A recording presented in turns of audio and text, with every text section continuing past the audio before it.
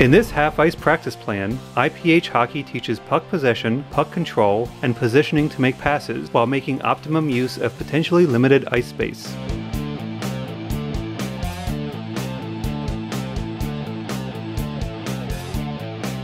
In today's drill, what we're going to be working on is our ability to protect a puck, take a puck away, and use our skills protecting it in a group setting so that we can learn how to protect it better along the wall and work under pressure. This is also part of a series of drills that we'll do in a compilation with, with others to show other skills and other ways in which we can protect pucks, get our head up, be in a position to make passes. So we've got, in this case, five players illustrated in this area here and it's separated by bumpers here. If you go with more players, you can just simply widen it out.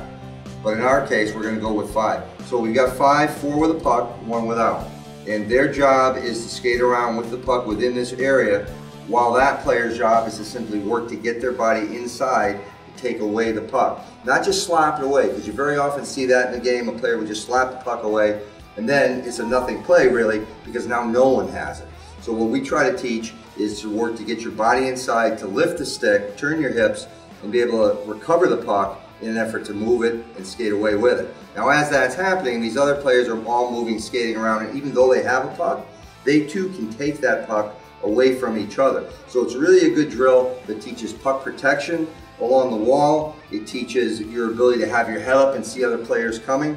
So we like to use this quite a bit with any age. And if you actually got to older ages, you could actually move this to the circle, never mind about the bumpers, and then they have to stay within inside the circle, which the older players are probably capable of doing that.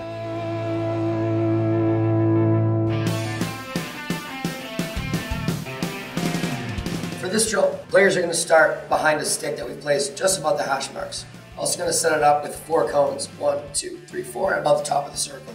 We're also going to have a pile of pucks up by the blue line. Now, a couple of things we're looking for in this drill are placement of the puck, good brake turns, and always kind of trying to protect the puck as our feet are moving. Players are going to start here next to the stick. We're to do a quick crossover, crossover back, and then a crossover start all the way up to the pile of pucks. When we hit the pile of pucks, we're to stop and grab a puck. We're to come inside the first cone and we're to do what we call a brake turn. Brake turn is when we take our inside foot and almost form a T with our two feet. We don't want to stop completely, and we don't want to just do a normal tight turn. We want to gain some momentum as we come out of it with a big crossover. So as we come through here, we do a quick brake turn this way, quick brake turn back the other way, brake turn back the other way, and then a brake turn around the top. We move our feet, come in, take a quick shot on net. A couple important things with this drill is that we're really focusing on the actual turn itself. As I said before, we don't want to stop completely. A lot of times, a player will be carrying a puck, need to get away from another player as fast as they possibly can. If we stop completely, we'll lose all of our momentum and we won't be able to get that quick step. So, in order to help combat that, we want to make sure that our players are doing a big, powerful crossover in between each cone. That'll help gain that momentum as we start to slow down a little bit. Another important thing is where we place the puck. We don't want the puck too far away from our body as we'll start to reach for it and we'll lose control. This drill also helps a lot with puck protection. We try to put the puck in a position where we can control it and still have our body in a spot and we can move to the next place where we want to go. So this is another really good drill that we can use in a small area of the ice. We can add it with two or three other drills and have a lot going on at one time. So players aren't standing still and they're using that valuable ice time.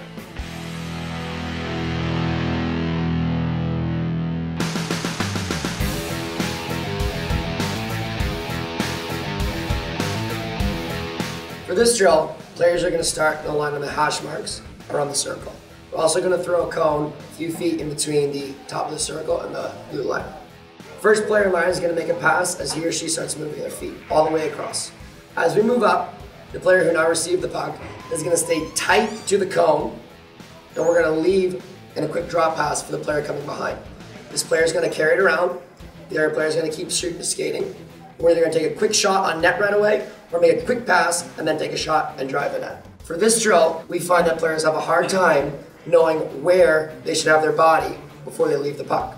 A lot of times, a player will carry the puck up and leave it on the inside, and you'll see players bump into each other as they skate around the cone. A good tool or learning point with this is to tell the players to pretend that that cone is a player on the opposite team. In doing so, that helps players learn to protect the puck, we shield it, and then we drop it to the safe side where the opposite player or teammate can grab it. A couple other things that players can look out for with this drill is having their head up as they come around the cone. Sometimes we'll throw a coach in the middle with his or her stick straight out. Players will oftentimes have their head down and make a quick pass into the coach. We're looking for a quick play, but it has to be the right play. We'd like the players to either come around and make that pass right away or come around and take the shot. Another good learning point is as you come around and take the far shot, that player can drive the far pad. So we look for the far pad with the shot. This drill and the two previous drills make a really good combination. We go down here and down here, the brake turn slalom. We go with the two pass drop down here and down here. In the middle, we do the takeaway game. This is again great for utilizing that valuable ice. A lot of times, teams only have a half ice sheet for practice. We can get at least 12 to 15 players going at one time, utilizing, if we're lucky, two goaltenders and another station that doesn't require a goaltender.